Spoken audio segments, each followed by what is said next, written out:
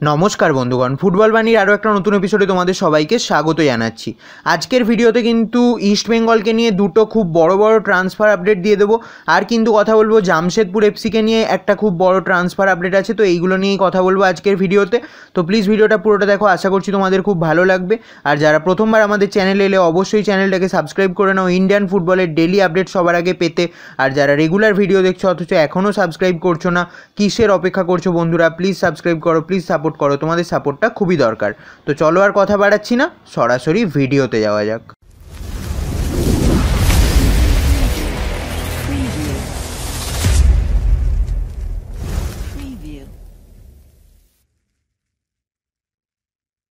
তো বন্ধুরা, প্রথমেই যে ট্রান্সফার আপডেটটা দিয়ে দেবো, সেটা কিন্তু জামশেদপুর এফসিকে নিয়ে। জামশেদপুর এফসি কিন্তু সাইন করাতে চলেছে সুদেভা এফসির ইয়াংস্টার প্লেয়ার ভূপেন্দার সিংকে। হ্যাঁ বন্ধুরা, এই ভূপেন্দার সিং কিন্তু একজন রাইজিং সুপারস্টার বলতেই পারো।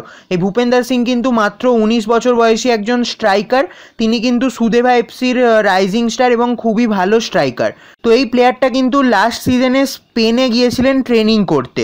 Spanish third division side CD Olimpic de Xativa তো সেখানে কিন্তু ট্রেনিং করতে গিয়েছিলেন এবং সেই টিমের আন্ডার নাইনটিন টিমের হয়েও কিন্তু একটা ম্যাচও খেলেছিলেন এবং সেখানে ট্রেনিং করার পর তিনি কিন্তু আবার ইন্ডিয়ায় ফিরছেন এবং যেটা শোনা যাচ্ছে তিনি কিন্তু জামশেদপুর এফসিতে সই করতে চলেছেন। এবং কন্ট্র্যাক্টটা যেরকমভাবে হতে চলেছে মানে দু বছরের কন্ট্র্যাক্ট হতে চলেছে জামশেদপুর এফসির সাথে এবং তাতে একটা ক্লজও থাকবে। যদি ভালো পারফরমেন্স দেন, তাহলে কিন্তু আরও দু বছরের জন্য সেই কন্ট্র্যাক্টটা এক্সটেন্ড করা হবে। তো এরকমভাবেই কিন্তু সাইনিংটা হতে চলেছে, এই ক্লজগুলোই আছে। তো একজন খুবই ভালো স্ট্রাইকার এবং ইয়াংস্টার প্লেয়ার মাত্র উনিশ বছর বয়সে এই ভূপেন্দার সিংকে কিন্তু নিজেদের দলে নিতে চাইছে জামশেদপুর এফসি এবং কথাবার্তা প্রায় ফাইনাল স্টেজেই ধরে রাখতে পারো। যে কোনো মুহূর্তে অফিসিয়াল অ্যানাউন্সমেন্ট হয়ে যাবে। অফিসিয়াল অ্যানাউন্সমেন্ট হলে তো অবশ্যই তোমাদের আরও একবার জানিয়ে দেবো বাট এই আপডেটটাই ছিল জামশেদপুর এফসিকে নিয়ে। তো বন্ধুরা, এবার আসা যাক ইস্টবেঙ্গলের আপডেটে তো ইস্টবেঙ্গল কিন্তু কথাবার্তা শুরু করল ইন্ডিয়ান ফুটবলের দুই সুপারস্টারের সাথে।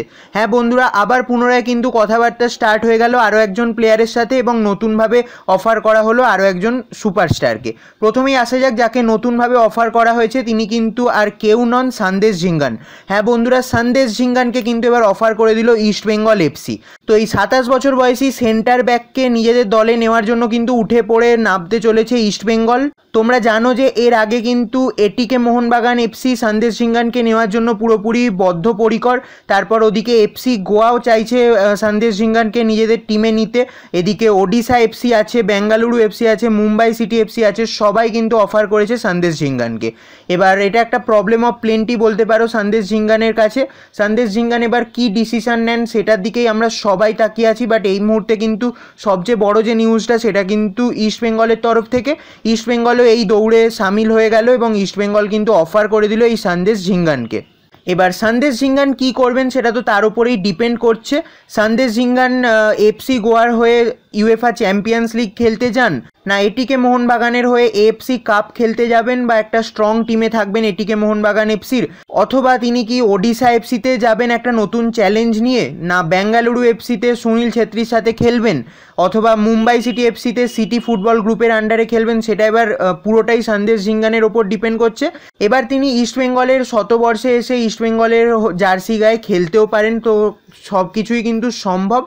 আপাতত কিন্তু এই ছ সাতটা ক্লাবের অফার আছে সন্দেশ ঝিঙ্গানের কাছে। এবার দেখা যাক তিনি কী ডিসিশান নেয়। সেদিকে তো সবার নজর আছে এবং পরবর্তী সময় কোনো আরও আপডেট এলে অবশ্যই তোমাদেরকে জানিয়ে দেবো।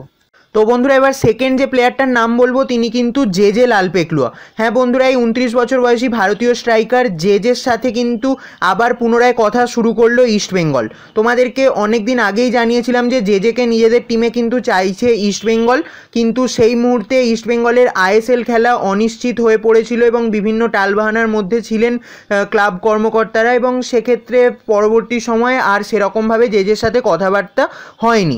বাট এই মুহূর্তে যে আপডেটটা পাওয়া যাচ্ছে জে জেকে কিন্তু আরও একবার ফ্রেশভাবে কথাবার্তা শুরু করল ইস্টবেঙ্গল এবং কথাবার্তা নতুনভাবে চালু করা হয়েছে জেজের সাথে। এবার যে যে কিন্তু ইস্টবেঙ্গলে সই করতে পারে। চান্সটা অনেকটাই বেশি আছে। যদিও যে জের কাছেও অনেক বড় বড় ক্লাবের অফার আছে মানে কেরালা ব্লাস্টার্স এফসির অফার আছে বেঙ্গালুরু এফসির অফার আছে জামশেদপুর এফসির অফার আছে ওডিশা এফসির অফার আছে। তো এই সব ক্লাবের অফার তো আছেই বাট ইস্ট বেঙ্গলেরও অফার কিন্তু ভালো মাপেরই আছে। তো তিনি কিন্তু ইস্ট বেঙ্গলের সই করলে সেটা অবাক হওয়ার কোনো কারণ হবে না। তো এবার দেখা যাক যে যে কী ডিসিশন নেন তিনি ইস্টবেঙ্গলে সই করেন কি না সেদিকে তো অবশ্যই আমাদের নজর থাকবে। বাট যে যে আর সন্দেশ জিঙ্গানকে নিজেদের দলে নেওয়ার জন্য কিন্তু উঠে পড়ে নামতে চলেছে ইস্টবেঙ্গল এফসি আরও একটা ইন্টারেস্টিং ফ্যাক্ট তোমাদের বলতে পারি, সন্দেশ জিঙ্গান আর জেজের এজেন্ট কিন্তু একই। মানে সেই এজেন্টের মাধ্যমে কিন্তু ইস্টবেঙ্গলের আগে প্লেয়ারকে সই করেছে এই বছর। তারা হলেন কিন্তু বিকাশ জাইরু চুলোভা তো এদেরকে কিন্তু সই করেছে ইস্টবেঙ্গল ওই এজেন্টের মারফতই। তো সেই এজেন্টই কিন্তু সন্দেশ জিঙ্গান আর জেজেরও এজেন্ট তো এবার দেখা যাক এই দুটো সাইনিং কমপ্লিট করতে পারে কি না ইস্টবেঙ্গল বাট পরবর্তী সময়ে কোনো আরও লেটেস্ট আপডেট এলে অবশ্যই তোমাদেরকে জানিয়ে দেবো। আপাতত এরকমভাবে কথাবার্তা শুরু হয়েছে নতুনভাবে। তো সেই জন্য তোমাদেরকে এই আপডেটটা জানিয়ে দিলাম।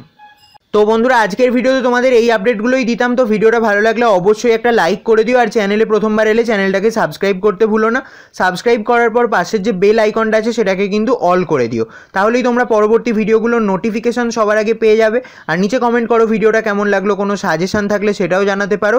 আর ভিডিওটা বন্ধুদের মধ্যে অবশ্যই শেয়ার করো। তো চলো, আজকের মতো ভিডিওটা এখানেই শেষ করছি, দেখা হবে আবার পরের ভিডিওতে ততক্ষণের জন্য, টাটা।